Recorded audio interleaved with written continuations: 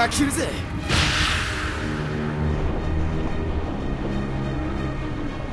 おい今週は妖怪キャンペーン中か何かだそうかもしれませんね。これでもう3日連続ですからね。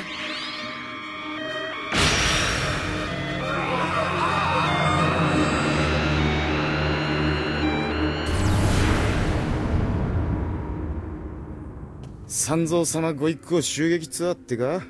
美人コンパニオンはいねえのかよ。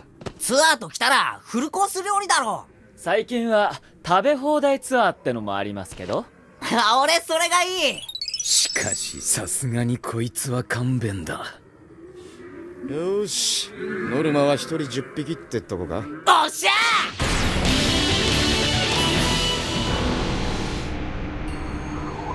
何手こずってるの？あんな坊やたちにねえ郊外寺。分かってないようだな。今三蔵たちが戦っているのは揚力で操られている死体。つまり無駄に体力を使っているだけだ。で三蔵の持っている経文はいつ手に入るのかしら？経文？そう経文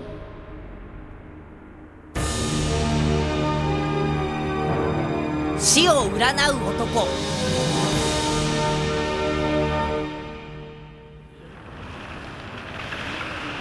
おかしくねえか？こいつら。倒れても倒れても起き上がってきますね。まるでホラー映画のゾンビです。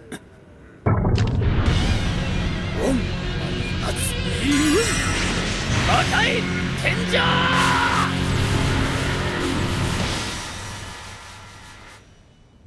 相変わらずすげえなそいつ。これは特別な教文だ。あの程度の奴らなんぞ。あ経典が必要なの。こっちも事情が変わったのよ。事情？あなたにはまだ教えてなかったわね。聖天教文。この世を創造する際に神が用いたとされる天地開元経典の一つ生命の進化を司る。それが聖天教文さすが牛魔王の息子。飲み込みが早いわね。無駄話はいい。続けろ。いいこと？5本ある経文のそれぞれの森人に与えられた称号が三蔵法師なのよ。三蔵？あいつ本当に坊主だったのかそしてね私の優秀な研究者のニー博士が重大なことを発見してくれたの。ミー・ジェインです。郊外寺様お名前はかねてから存じ上げております。お許しいただければ新しい発見を僕の方からご説明申し上げましょう。玉面公主様。簡単なことなんですが玉面公主様の愛する方。そうそう。あなたの父上でもあられましたね。とにかく牛魔王様の復活にはここにある聖天教門そして現状三蔵の持っている魔天教門が必要なのです。教文を揃えればこの実験は牛魔王の覚醒は成功するんだな。あの女羅刹女の呪縛は解けるのかって聞きたいのね。そうだそういうことは経典を手に入れたから口にしたらどうなの？まったく頭くるな。実の母親ながらほんと欲深いんだから。よーし。経典だか巻物だか知らないけどそんなのの一つや二つリリンがちゃっちゃいなっちゃいよ。行くか。こいつら揚力で動かされてただけなのかそれって郊外寺さあな。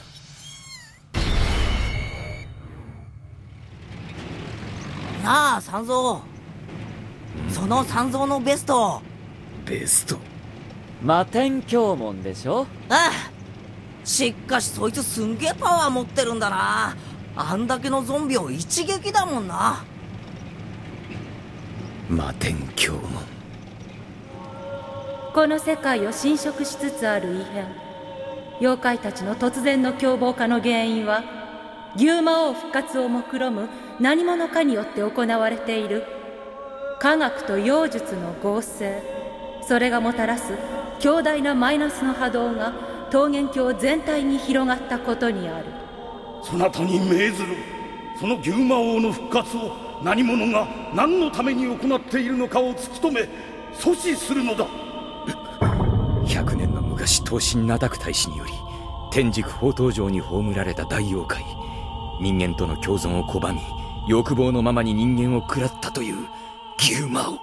全ては天竺にある。即刻西に向かえ御意それともう一つ。牛魔王の蘇生においてそなたが探している死の形見聖天教門が利用されている恐れがある俺が持つ闇を砕く力を秘めた魔天教門と我が師である光明三蔵法師が持っておられた光を生み出す聖天教門俺が山を降りたあの夜何者かに襲われ奪われた形見の品。三蔵三蔵見てみろよ。は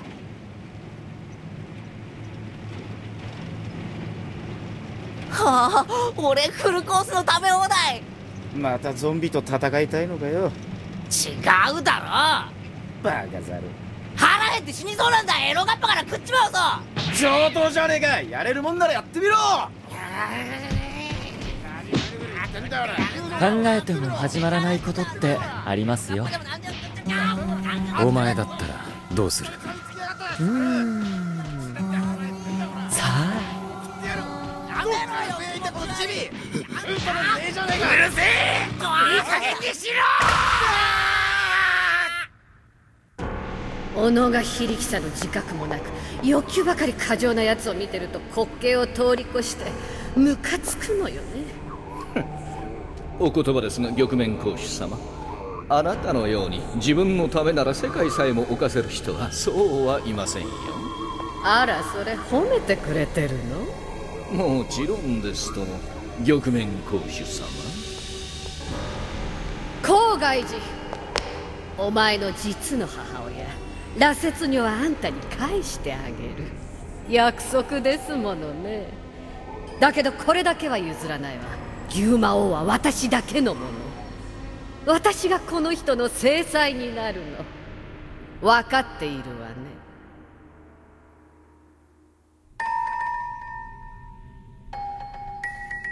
この俺が本気を出せば三蔵らを倒すことも不可能ではないだろう。しかし俺は奴らと対峙して初めて気がついた。明らかに俺とは違う何かに。迷っているのかこの俺が。そうだ本当は分かっている。この戦いの無意味さをあの連中を倒したとしても何も変わらない。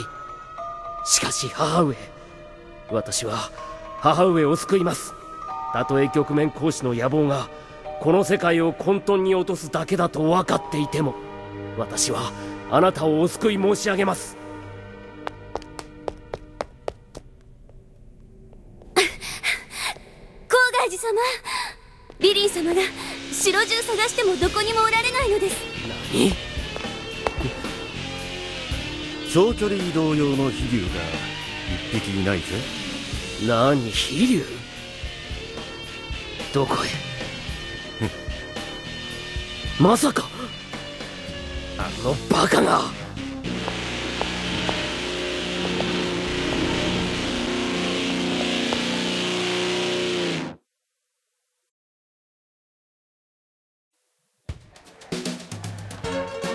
うわー。久しぶりだね。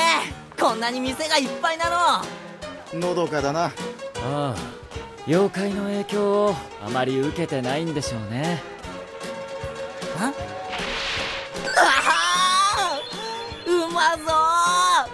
三蔵俺これ食いたい。却なんでだよ石丸坊の主。いいじゃないですか。肉まんくらい。近頃のガキは甘やかすと図に乗る。おうおうお坊様すっかり家計を預かる主婦していらっしゃいますな一度死ぬか。もしそこ行くお兄さんたち旅の人でしょ？このチンソーが旅路の先行きを占ってあげますよ。興味ねえよ。占いなんてよ。ああ三蔵一個でいいからさ腹減ってんだからさ。うるさい。何せ皆さん思想が出てますよ。怖いですね。貴様何者だ？死に近いところに生きてるでしょ？ういやいや私にはわかる。何者だと聞いている？特にそう。あなただそうそんな偽善者面でごまかしているがその目ですよ。罪人の目をしているじゃないですか。償いきれないほどの。そうそうそれにあなた腹に傷を持ってますね。てめえ喧嘩売ってんのか！私は皆さんの身を案じているだけですよ。あまり当たらないただの駅舎ですけどね。ご覧なさいこの麻雀の牌を。麻雀の牌を？私の牌は運命を語るんです。ほら災いは何時らとともに。どういうことだ？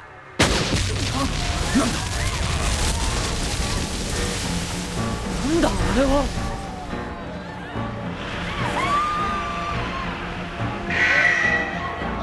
またでけえのが現れやがった。悟空食い出があるぞ。むちゃくちゃ硬そうだな。おいあいつの胸を見ろ。あ？凡字だ。式神ですね。ああ邪悪な念を物に封じ込めそいつを化け物に変身させる妖術だでもよあんなにでかい式神がいてもいいのか？非常識だろ。あの男罪人の目をしているじゃないですか。償いきれないほどの。さっきの駅舎はまさかこの式神も彼の？奴も郊外寺の資格なのか？何か違う気が。派手にやりやがって。さてどうする？決まってんだろやるまでさ。誰の使いか知らねえがいい気になってんじゃ。ねえぞ面白えじゃねえか。相手してやるぜ神星人。あ？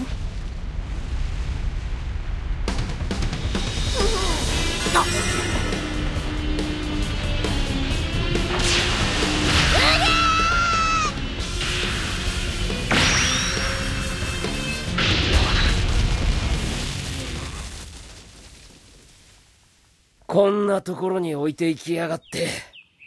この近くにいらっしゃるんですね。リリン様。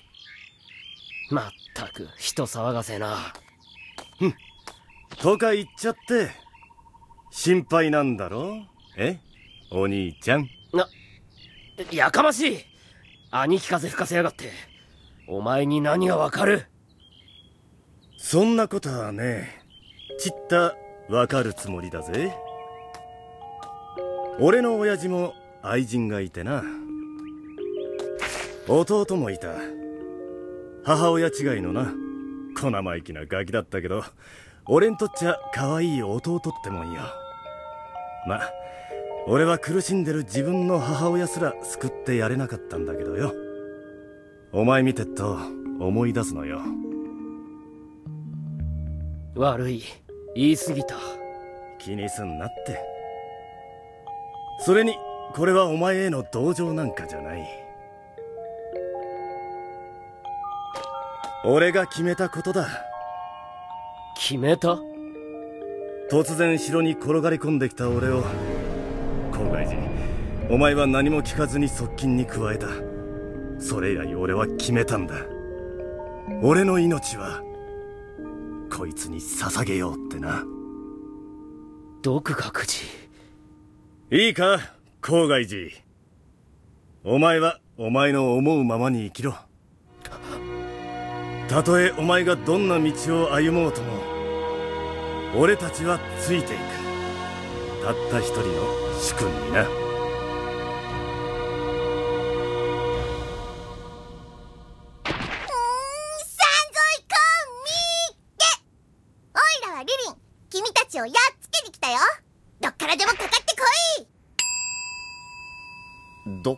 でもって言われてもな。さてどうしたもんでしょおい悟空なんかお前と雰囲気似てね？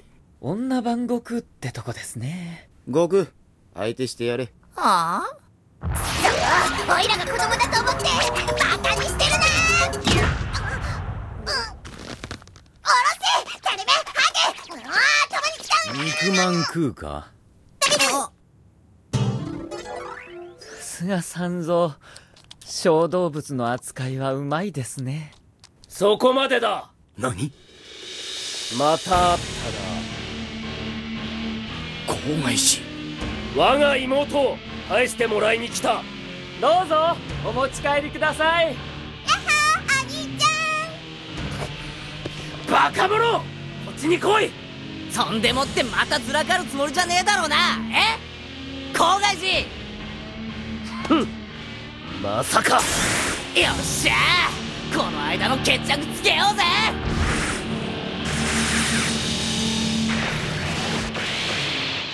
あのー、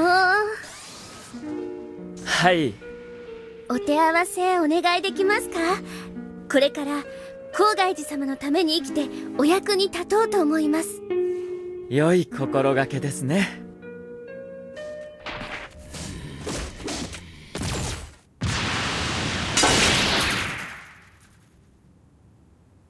俺の相手はあんたかい？おっさん。佐護町か？ん？やっぱりな。実際会うまでは半信半疑だったが。まさか。よっ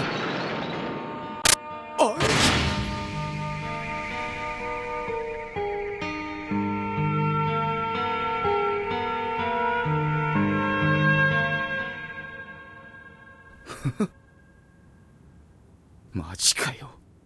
なんで？なんであんたがここに出てくんだよ？自己紹介が遅れたな。俺は郊外寺直属の部下。独学寺ってもんだ。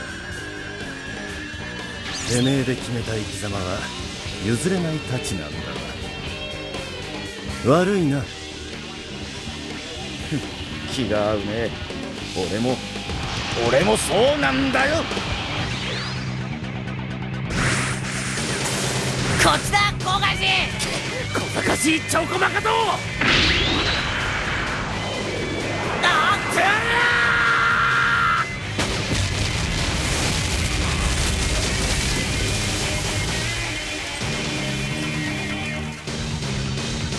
っやったか真面目にやろうぜ。何？な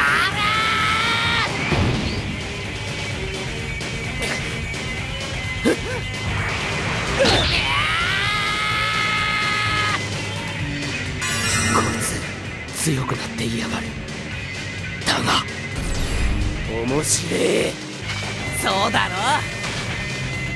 さっきの蹴りはなかなかのもんだったぜ。だがこの礼は倍にして返す。いいな。そうこなくっちゃ行くぞ。来い。あ